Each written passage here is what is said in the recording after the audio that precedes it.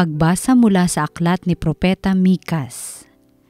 Patnubayan mo ang iyong bayan, Panginoon, ang bayan na iyong hinirang, nag-iisa siya sa gitna ng matabang lupa. Bayaan mo silang manirahan sa magandang pastulan ng Basan at Galaad. Magpakita ka sa amin ng mga kababalaghan tulad noong ilabas mo sa Ehipto ang iyong bayan.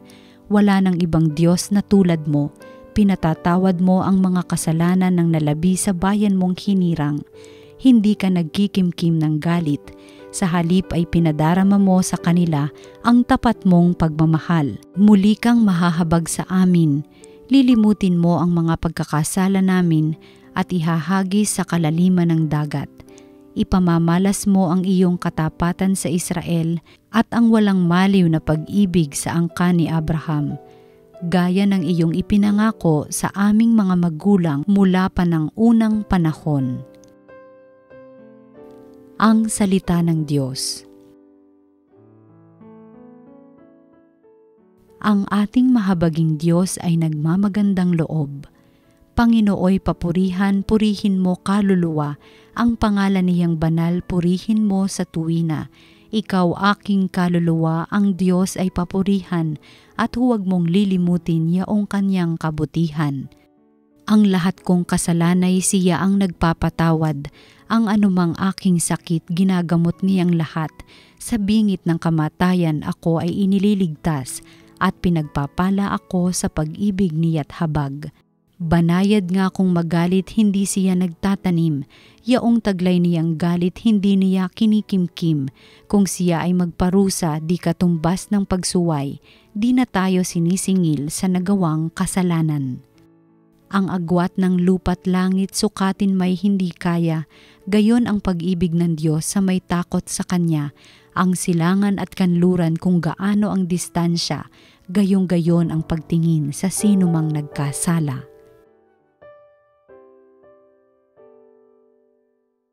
Ang mabuting balita ng Panginoon ayon kay San Lucas. Noong panahong iyon, ang mga publikano at ang mga makasalanan ay nagsisilapit upang makinig kay Jesus. Nagbulong-bulungan ang mga pariseyo at ang mga eskriba. Ang sabi nila, ang taong ito'y nakikisalamuha sa mga makasalanan at nakikisalo sa kanila. Kaya't sinabi sa kanila ni Jesus ang talinghagang ito Isang tao ang may dalawang anak na lalaki. Ang wika ng bunso, Ama, ibigay na po ninyo sa akin ang mamanahin ko at binahagi sa kanila ng ama ang kanyang ari-arian. Pagkalipas ng ilang araw, ipinagbili ng bunso ang kanyang ari-arian at nagtungo sa malayong lupain.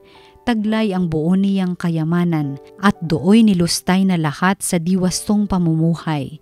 Nang malustay na niya ang kanyang kayamanan, nagkaroon ng matinding tagutom sa lupaing yaon at nagdalita siya. Kaya't namasukan siya sa isang mamamayan ng lupaing yaon. Siya'y pinapunta nito sa bukid upang mag-alaga ng baboy. Ibig sana niyang punan ang kanyang pagkain kahit ng mga bungang kahoy na ipinakakain sa mga baboy, ngunit walang magbigay sa kanya. Nang mapag-isip-isip niya ang kanyang ginawa, nasabi niya sa sarili, ang mga alila ng aking ama ay may sapat na pagkain at lumalabis pa, samantalang ako'y namamatay ng gutom dito. Babalik ako sa kanya at sasabihin ko, Ama, nagkasala po ako sa Diyos at sa inyo. Hindi na po ako karapat dapat na tawagin ninyong anak. Ibilang na lamang ninyo akong isa sa inyong mga alila. At tumindig siya at pumaroon sa kanyang ama. Malayo pa'y natanawan na siya ng ama at ito'y labis na nahabag sa kanya, kaya't patakbo siyang sinalubong, niyakap at hinagkan. Sinabi ng anak, Ama, nagkasala po ako sa Diyos at sa inyo, hindi na po ako karapat dapat na tawagin ninyong anak. Ngunit tinawag ng ama ang kanyang mga alila. Madali, dalhin ninyo rito ang pinakamahusay na damit at isuot sa kanya. Suotan siya ng singsing at panyapak. Kunin ang pinatabang guya at patayin Kumain tayo at magsaya, sapagkat namatay na ang anak kong ito, ngunit muling nabuhay, nawala, ngunit nasumpungan, at sila'y nagsaya. Nasa bukid noon ang anak na panganay, Umuwi siya at nang malapit na sa bahay ay narinig niya ang tugtugan at sayawan. Tinawag niya ang isa sa mga alila at tinanong, Bakit? May ano sa atin? Dumating po ang inyong kapatid, tugon ng alila. Ipinapatay ng inyong ama ang pinatabang guya sapagkat nagbalik siyang buhay at walang sakit. Nagalit ang panganay at ayaw itong pumasok sa bahay. Kaya't lumabas ang kanyang ama at inamo-amo siya. Ngunit sinabi nito, Pinaglingkuran ko po kayo sa loob ng maraming taon at kailan may hindi ko kayo sinuway. Ngunit ni minsay hindi ninyo ako binigyan ng kahit isang bisirong kambing para magkatuwaan kami ng aking mga kaibigan. Subalit nang dumating ang anak ninyong lumustay ng inyong kabuhayan sa masasamang babae, ipinagpatay pa ninyo ng pinatabang guya. Sumagot ang ama, Anak, lagi kitang kapiling. Ang lahat ng ari-arian ko'y sa iyo. Ngunit dapat tayong magsaya at magalak sapagkat namatay na ang kapatid mo ngunit muling nabuhay, nawala ngunit nasumpungan. Ang mabuting balita ng Panginoon, pinupuri ka namin, Panginoong Heso Kristo. Isang mapagpalayang araw po sa inyong lahat, mga kapatid ko kay Kristo. Tayo po ngayon ay nasa araw ng Sabado sa ikalawang linggo sa apat na pong araw ng paghahanda para sa Pasko ng pagkabuhay. At sa ating ibanghelyo po ngayon ay ating uh, mapakinggan ang talinhaga tungkol sa alibughang anak. Ang uh, ang ang ama ay merong dalawang anak at uh, ang bunso ay nagnais na hilingin sa ama na mapasa kanya na yung kanyang mga mana. At ito ay kanyang nilustay hanggang sa maubos at siya nagdahop o nakaranas ng hirap at nang siya ay nasa punto na na wala na siyang susulingan naisip niya na bumalik sa tahanan ng ama at uh, hindi bilang isang anak kundi bilang isang uh, alipin at uh, sa ganitong pangyayari ay makikita natin masasalamin natin kung gaano kabuti ang Diyos. Ang Diyos ay uh, maawain, ang Diyos ay mapagpatawad. Ika nga, uh, marami nagsasabi na ang uh, parabolang ito ay hindi parabola ng alibughang anak, kundi ito'y parabola ng isang alibughang ama. Sapagkat sa kabila na uh, na ginawa ng mga anak niya sa kanya, ay patuloy siya sa kanyang pagmamahal sapagkat ang ama na ito ay tunay nga na uh, tapat sa kanyang pag-irog, pagmamahal, paglingap sa kanyang mga anak na nagkakamali at nagkakasala.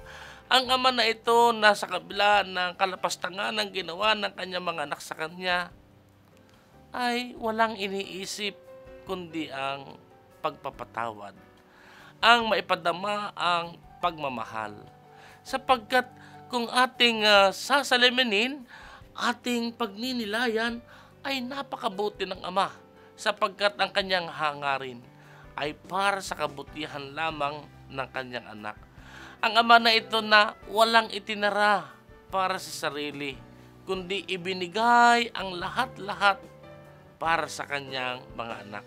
Kaya nga, uh, kung ating pang patuloy na pagninilayan ang ating uh, parabola, ang ating mabuting balita, ang ating ebanghelyo sa araw na ito ay magbibigay ito ng isang napakagandang aral para sa atin na ang Diyos ay patuloy na nagbibigay sa atin ng ikalawang pagkakataon. Kung tayo man ay nagkamali, tayo man ay nagkasala, at tayo ay nagsisi at tumingi ng patawad, sa ating pagbabalik sa Diyos, tayo ay kanyang patakbong sasalubungin, aakapin, at ipapadama sa atin ang kanyang wagas na pag-ibig. Ganyan ang pag-ibig ng Diyos. Tayong lahat ay iniimbitahan. Tayong lahat ay mga anak ng Diyos. Tayong lahat ay nagkamali. Maging ikaw man ay bunso o panganay o ano man ang estado mo, tayong lahat ay nagkasala. At ang Ama ay walang tigil sa pagmamahal at paghihintay sa atin. Naghihintay sa ating pagbalik. At sa ating pagbabalik, siya ay nakahandang tumakbo. Siya ay nakahandang sumalubong sa atin para tayo ay yakapin at ibalik sa atin ang karangalan bilang mga anak ng Diyos. Sana sa panahong ito ng kwaresma, lalo na na tayo nalalapit na sa ating pagdiriwang sa Pasko ng pagkabuhay, ihanda ang ating sarili. Kung paano tayo pinatawad ng Ama, tayo rin ay magpatawad ng ating kapwa sa mga taong nakasakit ng ating damdamin, sa mga taong nakagawa sa atin ng masama, tayo ay magpatawad.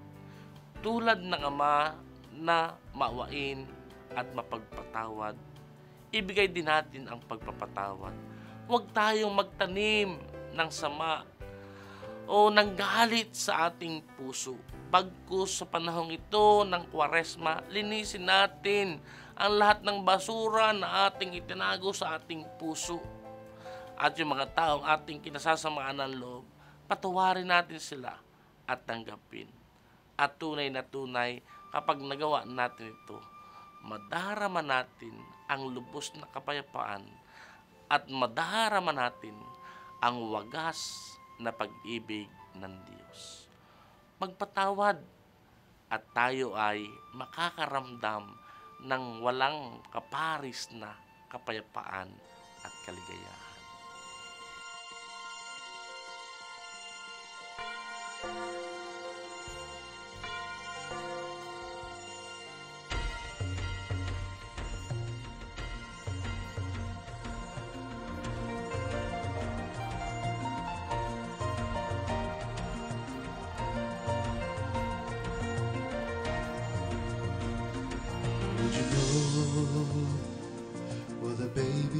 Saw when he opened his eyes for the first time? I know that it was a loving eyes, but I wish they were mine. We could only imagine what happened on his birth, all alone and unwelcome. He came to this earth, night in a cold manger, all alone and unwelcome in his own, just another stranger. Did you know what the dying Jesus saw when he closed his eyes for the last time?